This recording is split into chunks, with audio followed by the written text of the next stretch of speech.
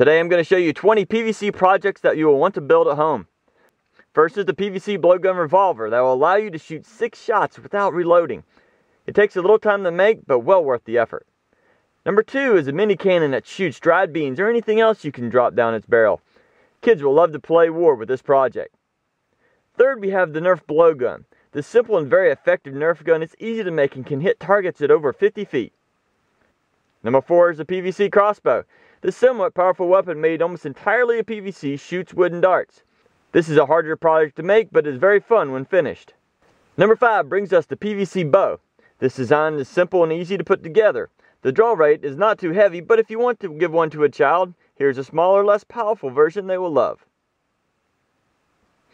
If you like playing with rockets, the number 6 is for you.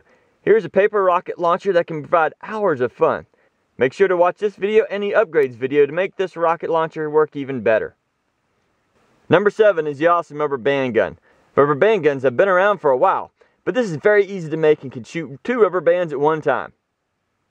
In 8th place we have the mini crossbow for kids. It is a simple design and not overly powerful to keep kids from getting into trouble. Number 9 is a PVC water gun. Hook this water gun up to the hose and you can have loads of fun. If you ever wanted to have a homemade water park, the number 10 is for you. This simple design works great in the backyard and kids will love it.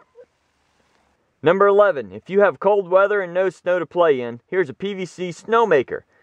It may take a little time, but you can have that fluffy white stuff too. Number 12 is a marshmallow gun.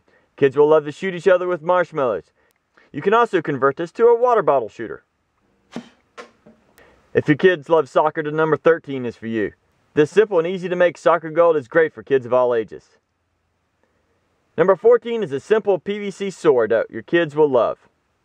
Number 15 is a great pair of nunchucks. They work great for anyone wanting to start martial arts.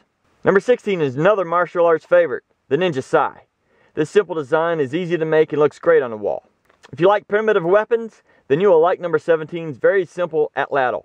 You only need two items to make it and it shoots arrows very well.